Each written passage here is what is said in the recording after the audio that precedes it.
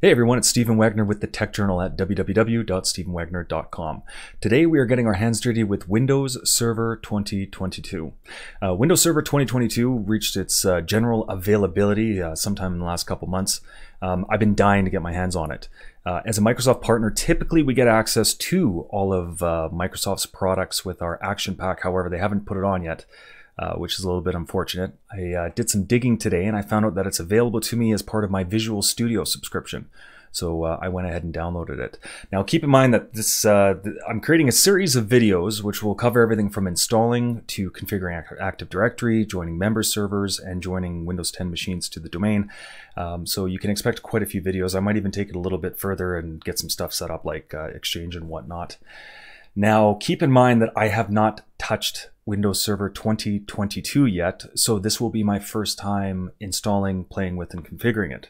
So with that being said, let's get our hands dirty and uh, get this started. So to do this, I'm going to be using a VMware ESXi environment. Um, essentially, I only have a router configured as of yet. Um, this is just going to be providing internet access to the network. Um, I've created a testnet distributed vSwitch. So essentially it's a, it's a test network um, which all the VMs will be connected to as well as the firewall.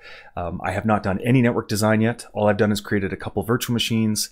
Um, haven't installed anything with the exception of the uh, pfSense firewall that's providing the routing to the network. So uh, let's get started. So as you can see here, I've got uh, TNSRV01. Um, I've created this virtual machine. We'll just go to manage and take a look at the settings here. I've configured this virtual machine with 8 gigs of RAM. I've got four uh, processors, 120 gig thin provisioned um, VMDK disk on my NVMe storage. Um, and I've got the uh, Windows Server 2022 ISO mounted to the CD drive, connected at power on, and it's connected to that testnet network, which has the uh, the firewall currently running on it. So the network does have internet access. Now keep in mind that the firewall is not providing DHCP services. All it's doing is NAT, and it's providing general DNS. Um, eventually, um, as we progress through the series of videos, we'll be uh, creating an Active Directory domain, in which case the domain controller will be providing the network with DHCP and DNS services. So now that we have that all configured, uh, let's get to uh, planning this network. So here you can see that we've configured uh, testnet1 and we've got the name of the firewall, the router, and the local area NIC uh, IP address. And so what we're going to do is just part of the planning, we're going to create uh, TNSRV01 entry, which is going to be our primary AD Windows Server 2022 instance. Um, this is going to be configured with the LAN IP of 192.168.10.10. And it's going to be on the 24 network with the subnet of 255.255.255.0.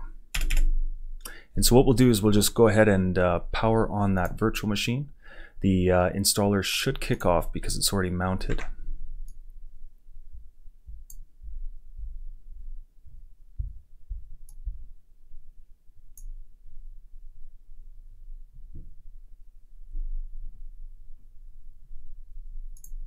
And here's the installer. So it looks pretty familiar. This is pretty close to the Windows 10 installer which is what you'd expect considering that it's probably built off the same NT base. We're just going to go ahead and choose that we do not have a product key right now.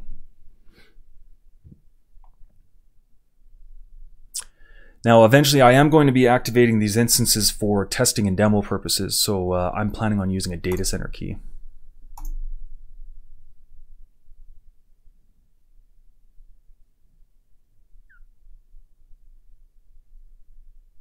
Oh, and actually, I almost made a mix up there.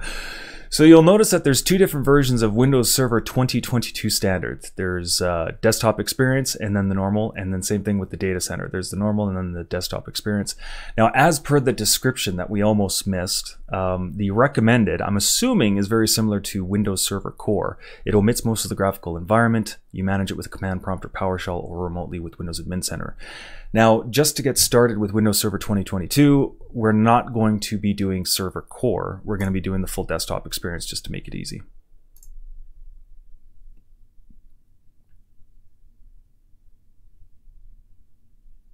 We're going to go ahead and accept the terms of custom install. We're going to choose the unprovisioned space on the hard drive, hit next. And at this point, we are now installing onto the disk. And I'm probably going to go ahead and speed this up so you don't have to sit and wait through this.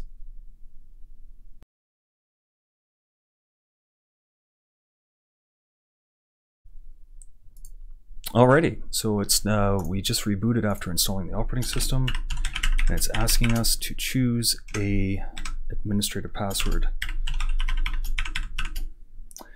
Now, most of you will probably already know this, but the administrator account is the top level account for the uh, uh, Windows Server instance. This is not a password that you want to forget. This is also a password that you want to make very strong because it has full access to the entire system.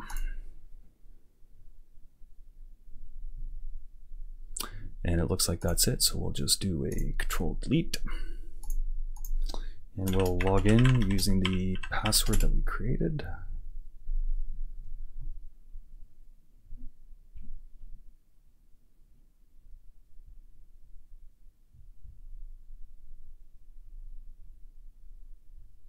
And of course, we got the good old Windows Server Manager popping up on login.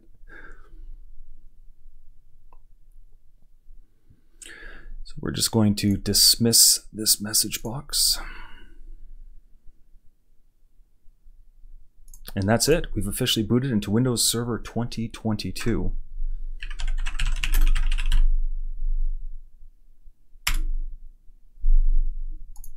So what I'm going to do here is I'm just going to go ahead and uh, change the computer name to TN-SRV01. And just for, actually, let me redo that so you can watch it. So the way that I get in there is I click on Start and I type in Advanced System Settings. Then you can head over to the Computer Name tab, hit Change to change the name of the computer, and we're going to change it to TN-SRV01.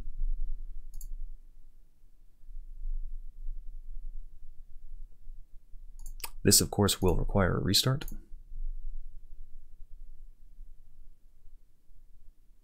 Now the next steps after doing this is that uh, since this is a virtual machine, we need to install VMware tools. So that's going to be our next step. And then after that, we'll be configuring the IP address.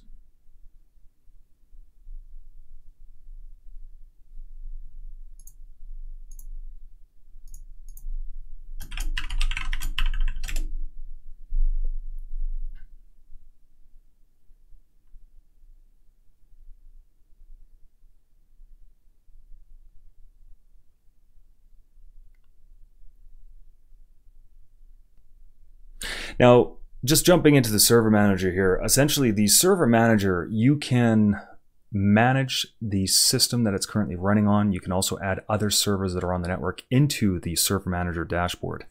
This allows you to configure add or remove features or roles to this server, to the other servers that you have it configured with. Um, you can do some pretty cool stuff. Once you install those roles as well, like for example, if you install the uh, Windows File Share role, you can actually go into the Server Manager and use it to create shares and a whole bunch of stuff. So it's uh, not too bad. I actually ignored it for, for years and years and years, but uh, it actually comes in handy. Now, the one thing that is a little bit annoying is that off of a default install, it starts on each run. So what you can do is once it starts up, you can go to, uh, I believe it is Manage, Server Manager Properties, and then you can click on do not start server manager automatically at login and that will stop it from starting on boot. Now if by chance you do want to get back in there you can just go to start, type in server manager and you are good to go to get back in there. So now that the machine's restarted, we've set the computer name. Our next step is going to be to install VMware Tools to get that NIC online. What we do is we uh, just go to VMRC, manage, install VMware Tools.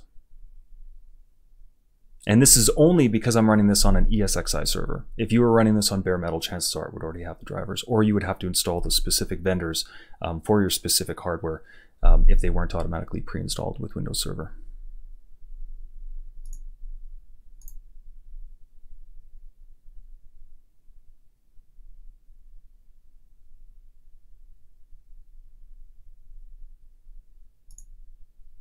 We'll just go ahead and do a typical install.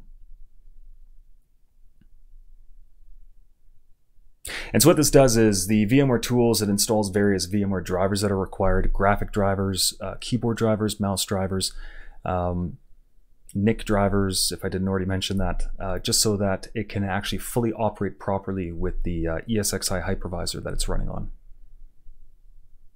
Now keep in mind that some operating systems will install and it'll look like you don't need the drivers. I always highly recommend installing VMware tools on Windows instances if you can, um, because even if drivers exist, you want to have those optimized VMware tools drivers. And of course, we'll just restart once this is completed.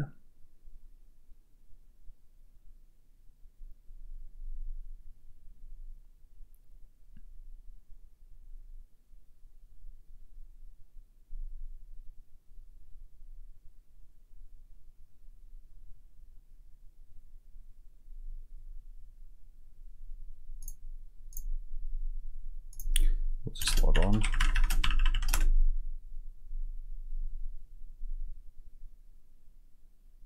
And you'll notice this time the server manager did not automatically start. So now the next steps that we're going to be taking is to configure the NIC so that we can get internet access. So we'll right click down here and go to open network and internet settings. Once this window opens up, you'll choose ethernet on the side, change adapter options. This will bring up the network card for the network.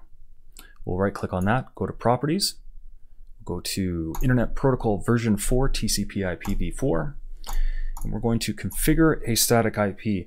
In the future, this machine will be the domain controller, so we need to make sure that it has a uh, static IP configured. And as per the networking document or design guide that we've created here, we've already chosen the IP address we're going to give it set the subnet. The gateway, we're going to set it to the IP address of the pfSense firewall. And we'll set the DNS server for now to the pfSense firewall. Discovered a new network, we'll click yes. And just to test the internet access, we'll just go to start, run, go to google.com.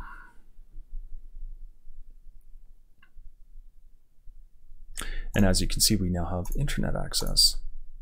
So of course, the next step is going to be to install Windows updates because we need those security updates to make sure that the server stays secure. We'll go ahead and uh, just because I'm going really fast, how you get there is going to start settings. And then once you get to the thing, you click on update and security. I have a little bit of a habit of kind of clicking really fast when I'm used to something. What's really nice about Windows Server 2022 is that the interface is almost identical to Windows 10. So the thing is that um, I thought there might have been a couple more uh, differences, but for the most part, every, navigating is the same. So as you can see, this is the first time, as I mentioned at the beginning of the video, that I've used Server 2022. Um, but I'm zipping through the menus pretty fast. So if you have experience with Windows 10, if you have experience with older Windows Server operating systems, it should be fairly easy for you to jump in here and get going with it.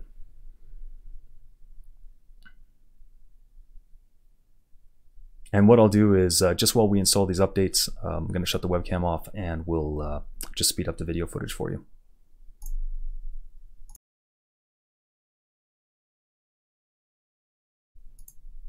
And actually, while these updates install, one other thing we're going to do is click on View Optional Updates and you'll notice that there's an updated VMware display driver. Typically, you might want to do this or update to a newer version of VMware tools. My version isn't the latest because I'm running ESX 6.5 on my physical hosts. Um, you could either install it this way or use the uh, updated VMware tools installer directly from vmware.com, but we'll skip this for now. And I'm thinking in a couple seconds here, the cumulative update should complete and it should prompt us to restart the server.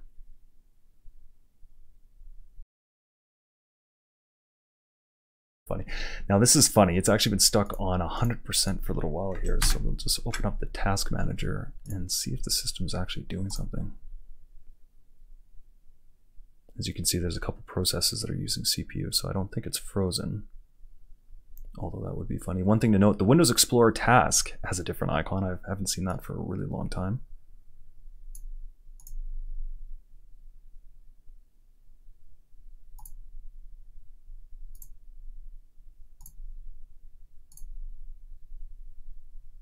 And so again, we'll just uh, let this sit and uh, do its thing.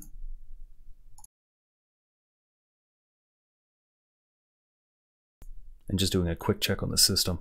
Again, concerned that it might have froze, but you can see the uh, Windows modules installer worker running in the background using about 25% of the CPU, which means that it's uh, installing the Windows updates right now at the moment.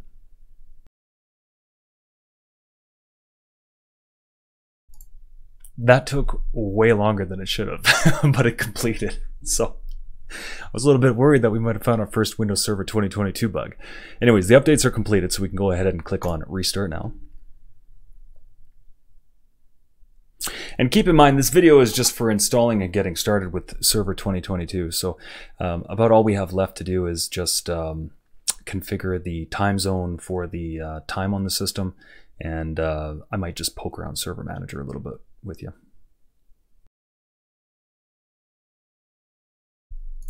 Alright, it's just uh, restarted after the updates. We're going to log back in, and now we're going to set the time zone.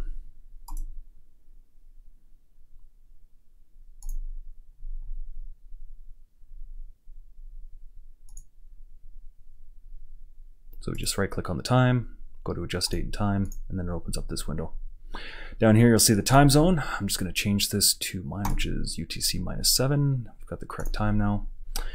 And there we go. We have a functioning and installed Windows Server 2022 instance. Now, I promised that we would take a look at the server manager before I uh, end this video.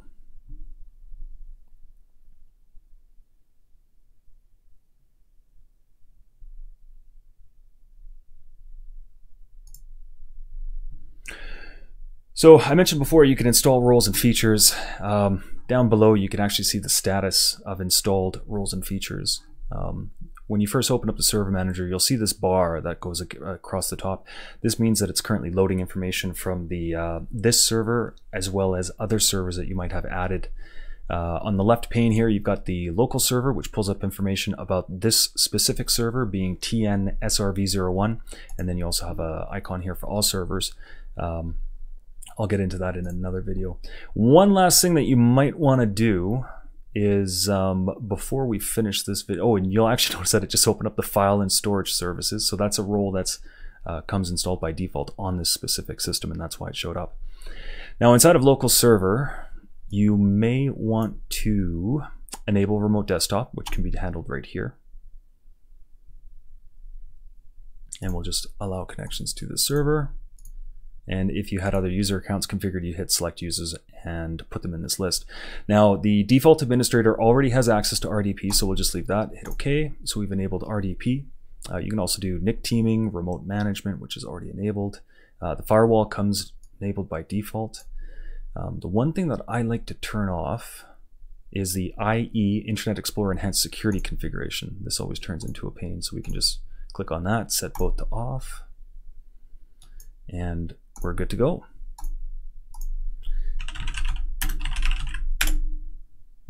And so you can see we have Microsoft Windows Server 2022 Data Center version 10.0.20348 build 20348.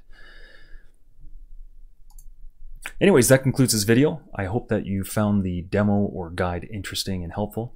Um, if you already haven't, please like this video and subscribe to the channel and make sure you check out my blog if you haven't before at www.stephenwagner.com. Thank you very much, guys. Have a fantastic day.